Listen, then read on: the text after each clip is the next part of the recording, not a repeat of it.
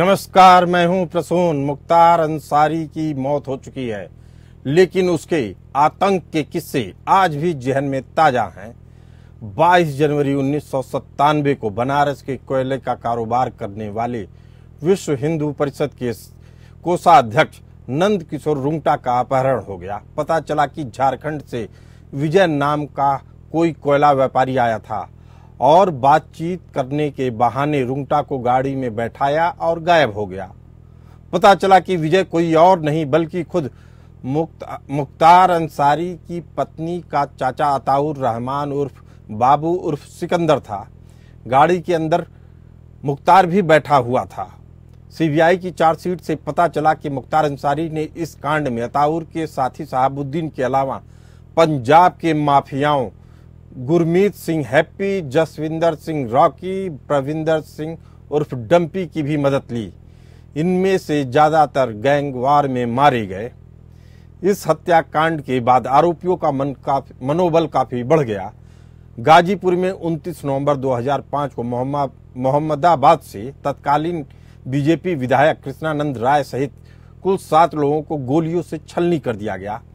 चुनावी रंजिश के चलते इस वारदात को अंजाम दिया गया। काल का चक्र देखिए, एक के बाद एक करके सारे आरोपी अपने अंजाम पर पहुँचते जा रहे हैं। मुख्तार की पत्नी का चाचा, अताउर रहमान उर्फ़ बाबू उर्फ़ सिकंदर अपने साथी साहबुद्दीन के साथ फरहार है। इन पर दो दो लाख का इनाम घोषित है। विश्वास वर्मा विश्वास शर्मा और विश्वास नेपाली फरार है। इस पर पचास हज़ार का इनाम घोषित है। बदमाश की आखिरी लोकेशन नेपाल में मिली है। प्रेम प्रकाश सिंह उर्फ़ मुन्ना बजरंगी की जेल में विरोधी गैंग ने गोली मारकर हत्या कर दी। इसी कांड में संजीव जीवा को कोर्ट में विरोधी गैंग ने मारा। इस पर कृष्णानंद राय की हत्या के बाद शिखा काटने का आरोप था। राकेश पांडे उर्फ़ हनुमान पांडे को लखनऊ में इनकाउंटर में पुलिस ने ढेर कर दिया। इसी मामले में आरोपी फिरदौस को मुंबई इनकाउंटर में मारा गया। एजाजुल हक को मानसिक तनाव से मौत हुई जो मुख्तार का बहनोई लगता था। मुख्तार अंसारी की जेल में हार्ट अटैक से मौत हो गई। लेकिन मुख्तार अंसारी की मौत के बाद सवाल उठ रहा है कि क्या मुख्तार गैंग खत्म हो गया है? तो इसका जवाब है नहीं। अब आपको बताते हैं कि इस गैंग इस गैंग के सक्रिय सदस्य कौन कौन बचे हैं। अफसा, अताउर रहमान, सादार उर्फ़ डम्पी और विश्वास नेपाली। ये हैं कौन? हम बताते हैं आपको। पहला नाम मुख्तार अंसारी के ससुर का सगा भाई अताउर रहमान उर्फ़ बाबू उर्फ़ सिकंदर का आता है, जो अपने साथी साहबुद्दीन के साथ फरार है। इस पर दो दो लाख का इनाम घोषित है। अताउर विश्व हिंदू परिषद कोषाध्यक्ष नंद किशोर रुंगटा हत्याकांड और विधायक कृष्णानंद राय हत्याकांड में शामिल बताया जाता है। सूत्रों की माने तो रहमान उर्फ़ बाबू उर्फ़ सिकंदर नेपाल से होता हुआ बांग्लादेश गया, लेकिन वहाँ भी हालात बिगड़ते देख पाकिस्तान में शिफ्ट हो गया। इसकी लोकेशन कई बार दुबई में ट्रेस की गई है। अताउर रहमान की भतीजी अफसा से मुख्तार अंसारी की शादी हुई। मुख्तार अंसारी की पत्नी अफसा अंसारी भी इस समय फरार हैं। सूत्रों की माने तो कभी आवाज़ इंफ्राटेक कंपनी में डायरेक्टर रही। मुख्तार की पत्नी अफसा अंसारी इस कंपनी के ज़रिए भारी मात्रा में पैसे का अवैध लेन देन में शामिल रही। बाद में इस कंपनी की बागडोर शादाब उर्फ़ डंपी के हाथ में आ गई, जिसकी लोकेशन दुबई बताई जा रही है। माना जा रहा है कि मुख्तार की पत्नी अफसा अंसारी को भी फंडिंग सादाब उर्फ़ डंपी के ज़रिए ही कराई जाती है। कृष्णानंद राय हत्याकांड के आरोपियों में शामिल। विश्वास नेपाली, जो कभी मुन्ना बजरंगी का करीबी था, लेकिन मुन्ना बजरंगी के करीबी गन्ना व्यापारी की हत्या कर दी, जिसके बाद से विश्वास नेपाली और मुन्ना बजरंगी के संबंध आपस में बिगड़ गए। वहीं से विश्वास नेपाली, नेपाल भाग गया और सूत्रों की माने तो विश्वास नेपाली अब पुलिस का मुखबिर बन चुका है। विश्वास नेपाली का नाम अतीक अहमद, मुन्ना बजरंगी, संजीव जीवा हत्याकांड के साजिशकर्ताओं में लिया जाता है। नेपाल में ठिकाना बनाए विश्वास नेपाली पर मुख्तार अंसारी परिवार के लिए लॉजिस्टिक एंड फंड मैनेजर के तौर पर काम करने का आरोप है। इस पर डबल एजेंट होने का भी आरोप लगता है। गैंगस्टर एक्ट सहित कई मामलों के आरोपी, मुख्तार अंसारी का बड़ा बेटा, अब्बास अंसारी इस समय कासगंज जेल में बंद है। माना जाता रहा है कि अब अब्बास गैंग की कमान संभाल सकता है। मुख्तार का छोटा बेटा उमर अंसारी फ़िलहाल जमानत पर बाहर है। माना जा रहा है कि मुख्तार अंसारी गैंग पर पुलिस की कड़ाई खत्म होने के बाद बेटों के इर्द गिर्द मुख्तार गैंग नया रूप ले सकता है। लेकिन इस पूरे मामले पर राजनीतिक दबाव किस तरीके से काम किया, कैसे मुख्तार अपने आतंक का पूरा खेल खेलता रहा, इस बारे में बताएँगे हमें पूर्व डीसीपी शैलेंद्र सिंह।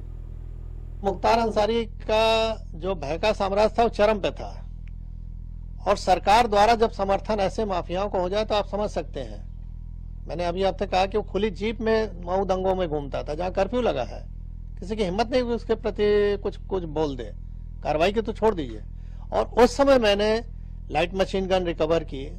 आज तक उत्तर प्रदेश में केवल एक ही रिकवरी है, न उसके पहले कभी हुई, न बीस साल हो गया अब तक हुई है। और उसमें पोटा भी लगाया क्योंकि पोटा एग्जिस्ट करता था। तो मैंने स्टैंड लिया उसके प्रति कि नहीं, ये गलत है और ये हो, इसको जेल जाना होगा। लेकिन मुलायम सिंह की सरकार तत्कालीन अल्पमत की सरकार थी, किसी भी कीमत पे इसको बचाना चाहते थे। और उन्होंने अंत में हम लोग पर प्रेशर बनाया, अधिकारियों प्रेशर बनाया। जब कोई नहीं सुना तो आईजी रेंज आईजी जोन जो थे उनका ट्रांसफ़र डीआईजी रेंज का ट्रांसफ़र एसएसपी एसटीएफ हमारे थे उनका ट्रांसफ़र। और अंत में ऐसा माहौल बनाया गया कि मुझे भी रिजाइन करना पड़ा पंद्रह दिन बाद ही। और किस तरह की ये सरकारें चल रही हैं कि जो माफियाओं के निर्देश पे काम कर रही हैं। तो आज मैं जीता जागता उदाहरण हूँ कि इस तरह की सरकार अगर रहे, चले तो कैसे आप जनता को रिलीफ पहुंचाओगे? अगर सरकार सही नहीं चले तो अधिकारी काम नहीं कर सकता है। तो मैं बाहर आके इस चीज़ को रखा, जान जोखिम पर अपने डाला, परिवार की जान जोखिम में डाला स्वाभाविक है कि अच्छी नौकरी के बाद हम कहीं अगर नौकरी प्राइवेट भी ज्वाइन करने तो इनके कॉल चले जाते थे कि इनको निकालिए अपने यहाँ से। किराए का मकान नहीं मिलता था। रात में सामान कहीं लेके रख दिया तो सवेरे वहाँ से खाली करना पड़ता था। तो ये सब चीज़ें देखी, लेकिन अब उस पर ज़्यादा नहीं बोलना है। हाँ ये है कि जो जैसा करता है, वैसा उसको भोगना पड़ता है।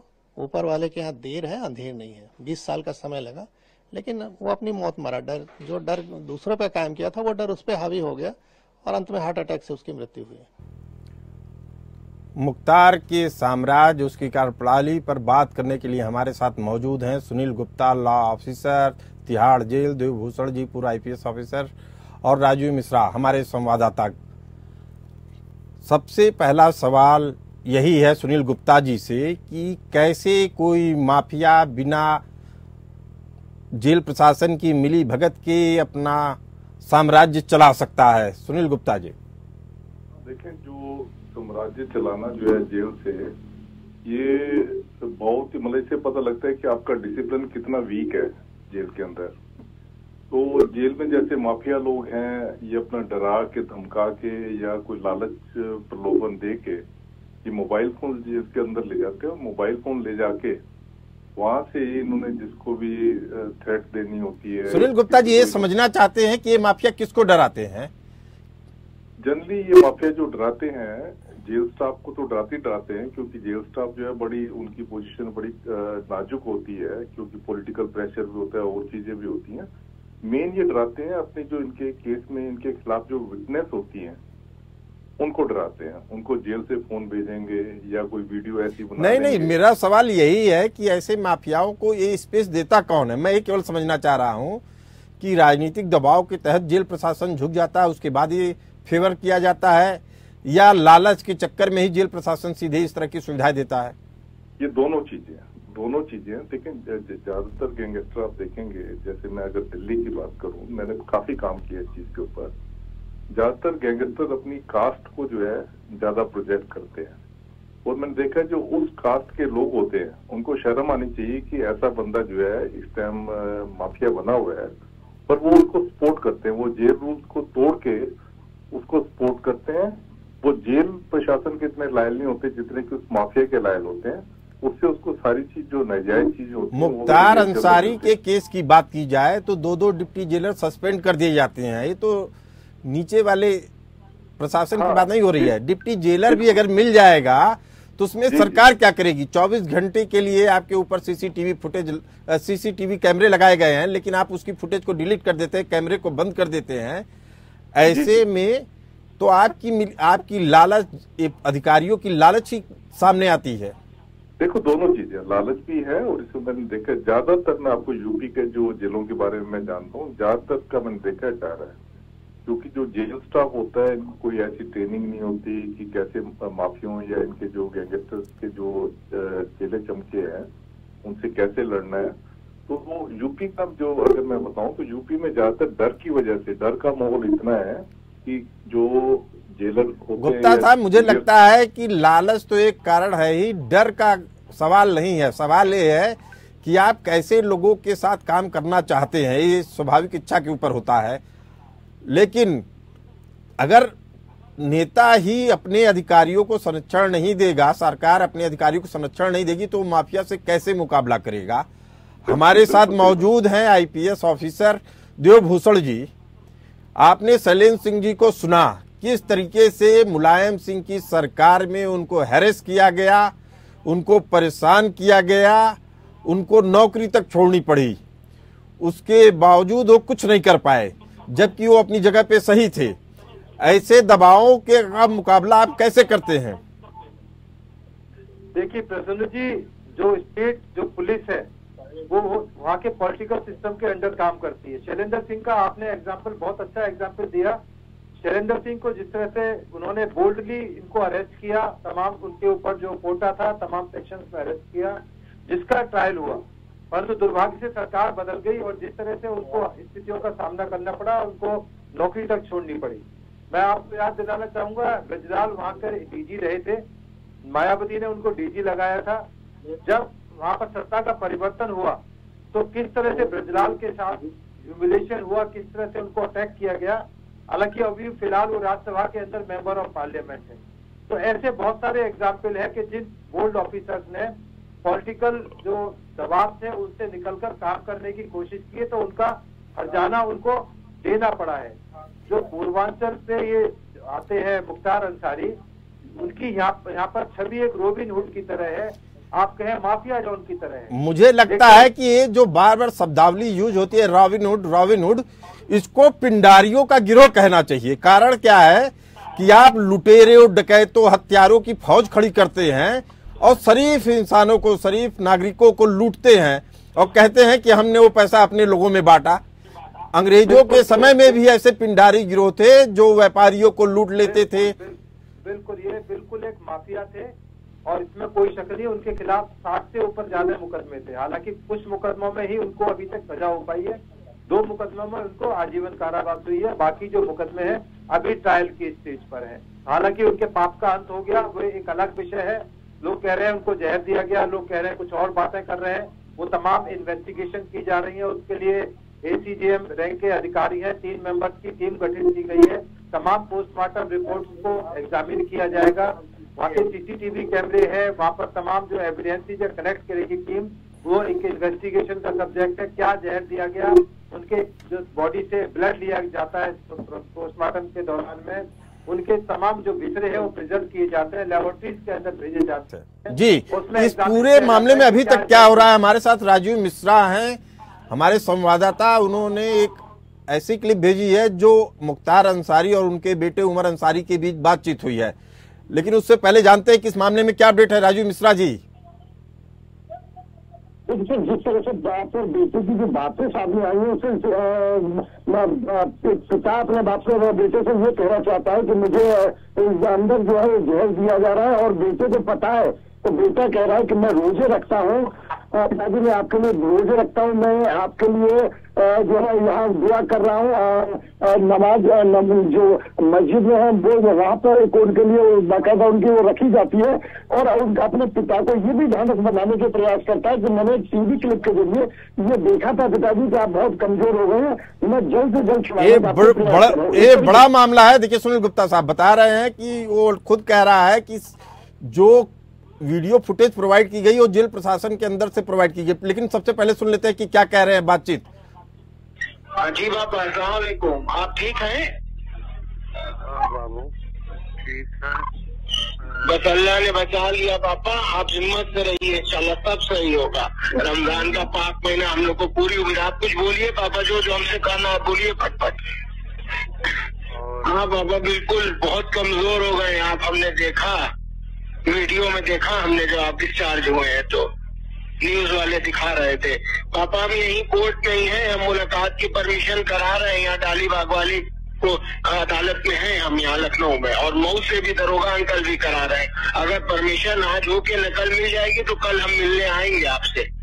हम और भाभी दोनों लोग। हाँ दो दिन, चार दिन पाँच दिन आओ। ताकि हम उठ सके। हम बैठ नहीं पा रहे हैं बाबू।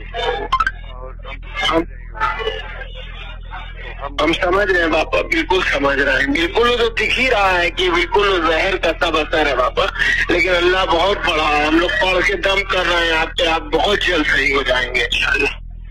किसी भी तरह हिम्मत करके बापा फ़ोन कर लिया करिए रोज। आपका आपकी आवाज़ सुन के जान में जान आ गई हम लोग के। हाँ बाबू। हाँ, हम अल्लाह अगर ज़िंदा रख कभी रखे होगा। तो रूह रहेगी और तो बॉडी तो चली जाएगी। और आप हमें पता है कि आप बहुत हिम्मत से हैं। कोई और रहता तो अब तक मर गया होता आप बहुत हिम्मत से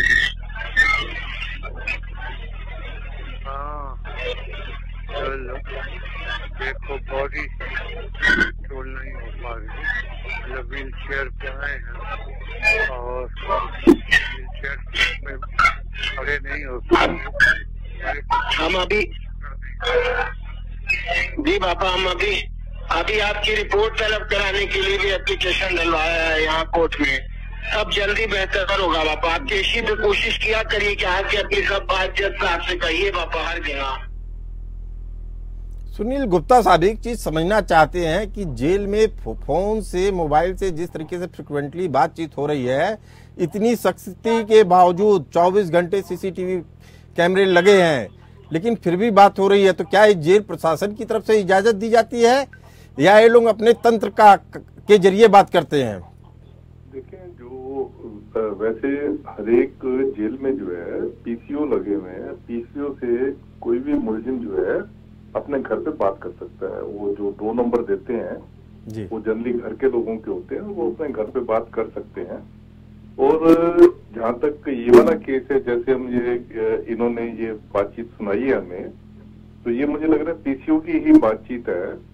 और नहीं जो उस बातचीत में दो तीन बातें हैं मैं सुनील गुप्ता साहब। उसमें कह रहा है कि दरोगा अंकल काम कर रहे हैं। मतलब दरोगा अंकल मुख्तार अंसारी के लिए काम कर रहे हैं। दूसरा महत्वपूर्ण बातचीत का अंश ये है कि कहा जा रहा है मैंने आपकी फुटेज देखी है।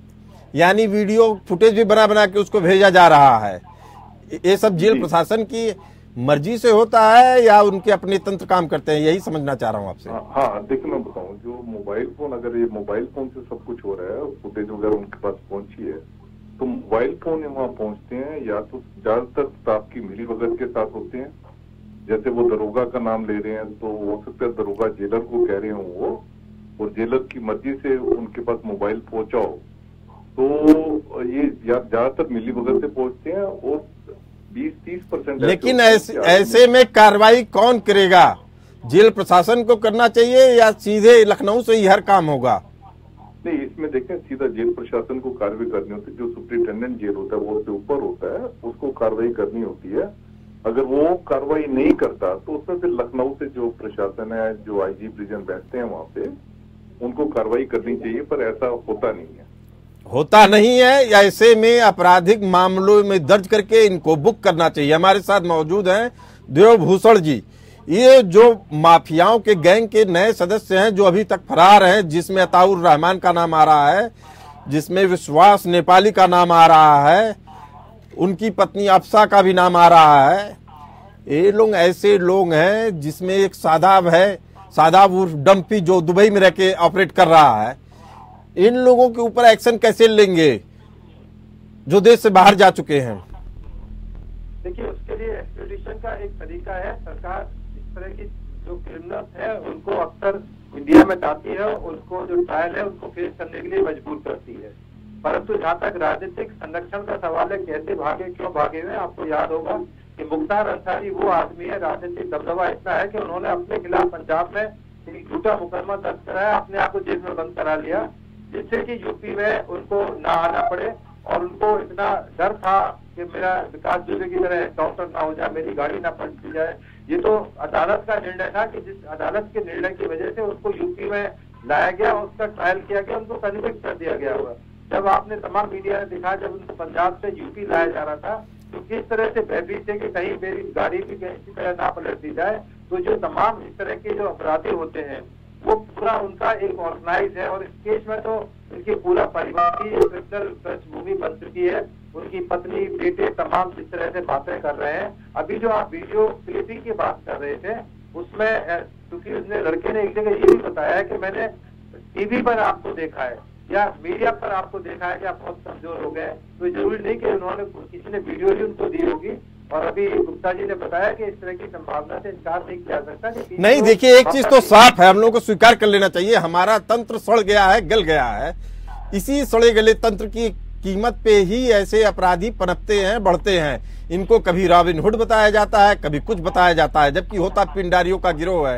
ये ठग का गिरोह है हत्यारों का गिरोह है अपराधियों का गिरोह है किसी के लिए ठीक नहीं होते। राजीव मिश्रा हमारे साथ है। तीस सेकंड में समझना चाहता हूँ क्या मुख्तार अंसारी के बाद मुख्तार अंसारी गैंग खत्म हो गया है कि अभी इसका नया रूप देखने को मिलेगा? राजू मिश्रा जी। देखिए सर, जिस तरह से जिन मुख्यमंत्री के ऊपर हमला हुआ था और हमले के मास्टरमाइंड मुख्तार अंसारी थे और उन्हीं की सरकार में अगर उनको ये क्लिप प्रोवाइड करा दी जाती है और वो और उनको हर चीज़, दरोगा, अंकल प्रोवाइड करा सकते हैं तो ये हम बिल्कुल मान सकते हैं कि उनका ग्रोह भी खत्म हुआ। इसमें ग्रोह के पीछे जो सदस्य है, चलाने वाले जो लोग हैं, अभी मौजूद है। चाहे वो उनके बेटे के रूप में हो चाहे उनके गुर्गों के रूप में हो लेकिन अभी ये गैंग खत्म नहीं हुआ है। हाँ निष्क्रिय ज़रूर हुआ है। उनके मरने से इनको एक, एक निष्क्रियता ज़रूर प्रारंभ हुई है लेकिन अभी ये गैंग तो इस चर्चा में साफ़ है कि मुख्तार की मौत के बाद भी अगर थोड़ी सी भी रियायत दी गई तो मुख्तार अंसारी का गैंग नए रूप में आ सकता है। इस पे हमें ध्यान देने की ज़रूरत है। इस चर्चा में फ़िलहाल इतना ही। हमें दीजिए इजाज़त बने रहिए एपीएन न्यूज़ के साथ।